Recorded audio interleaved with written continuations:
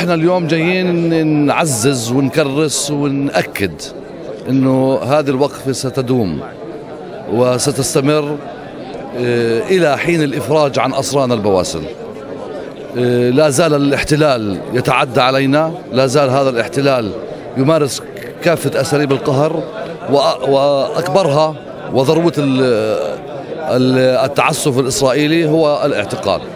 هو بقاء أسرانا البواسل المناضلين مناضلي الحرية آه، هم من هم أفضل منا هم أفضل أخيارنا من الشعب الفلسطيني موجودين في وقابعين في سجون الاحتلال.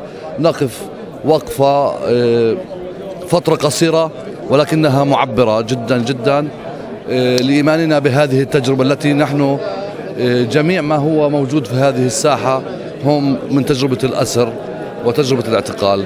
هذه التجربة العظيمة التي آه، أنتجت الكثير من الكوادر ومن القيادات ومن المدارس آه، باتجاه حرية شعبنا الفلسطيني آه، وبها أيضا بهذه الوقفة نؤكد على دعمنا الكامل لفخامة الرئيس ولكافة مساراته ونؤكد أيضا دعمنا الكامل لوحدة منظمة التحرير الفلسطينية ونؤكد أيضا أننا لا زلنا على أهدافنا ولا زلنا على الثوابت إن شاء الله. أنا والد الأسير يوسف مهداوي محكوم مدى الحياة موجود في سجن ريمون.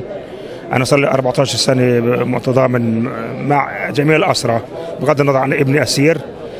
هذا اليوم يعني آه، بياني مشهود ولكن يعني آه، لا يرتفع إلى مستوى ما عند أسير أو اسير في نفس الوقت. يعني آه، يمكن في إعلام أو الحكومة أو المحافظ حث على هذا الموضوع.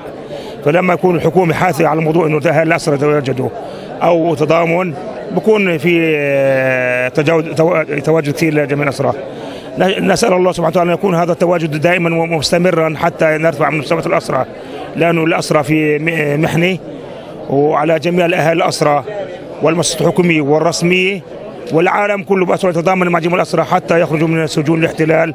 وشكرا سجون فجر الجيش أنا والدة الأسير يوسف مهداوي محكوم مدى الحياة موجود في نفحة. يعني وضعهم صعب الأسرى تنقلات من سجن لسجن بيطلعوهم من دون ملابس بيطلعوهم بيسحبوا كل شيء من عندهم. يعني في مرضى في يعني حالتهم سيئة سيئة. حتى المصانع موديها بخصموها عليهم آه، بخصموا عليهم جزء من أي مشكلة أي شيء بحسبوها عليهم. إحنا بنطلب من الجميع برضه يهتم بقضيتهم.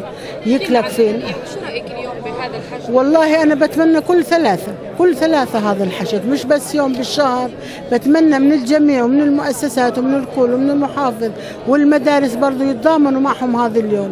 يعني هي كلها ساعة زمان مش يعني هالوقت باخذش من وقتهم يعني وقت طويل يتضامنوا معهم وكيفوا لجانبهم برضه معنويات للأسرة كلهم. هاي الوقفة بتنطيهم معنويات. وإن شاء الله الله بيفرجها عليهم الجميع ويفرجها على كل الاسرى والاسيرات طبعا إحنا كمان كل يوم ثلاثاء هذا الاعتصام الأسبوعي. طبعا اليوم اعتصام مميز اعتصام اليوم جيد جدا. بنقدر نحكي عن كل الشكر لكل المؤسسات اللي شاركتنا اليوم. طبعا هذا واجبها لكن نحن بنشكرها كمان مرة على حضورها. إيه، وبنشكر كمان عطوفة المحافظ اللي طبعا إيه، استجاب لمطالبنا وطلباتنا ودعوتنا له بتفعيل هذا الموضوع على الشارع والضغط على المؤسسات بحضور ومشاركه طبعا إحنا بنقول كمان لأهل اسرانا كمان مطلوب منكم كان أيضا التفاعل أكثر والمزيد من الحضور. حتى نقدر نوصل رسالتنا وتكون طول كرم كما بنعرفها إيه، سباقة دائما والحاضرة في كل المناسبات الوطنية وخاصة في موضوع الاسرى طبعا إحنا بنأكد إنه في هذا اليوم إحنا مصطف خلف أسران البواسل وبنبارك للاسيرين المحررين أخونا وائل الزكلي اللي امضى 10 سنوات في الاحتلال وتم الفرج عنه امبارح. وأخونا ماجد الجراد اللي افرج عنه امبارح أيضا أمضى 10 سنوات. وبنكون إن شاء الله عقبال أخوك 10 سنوات.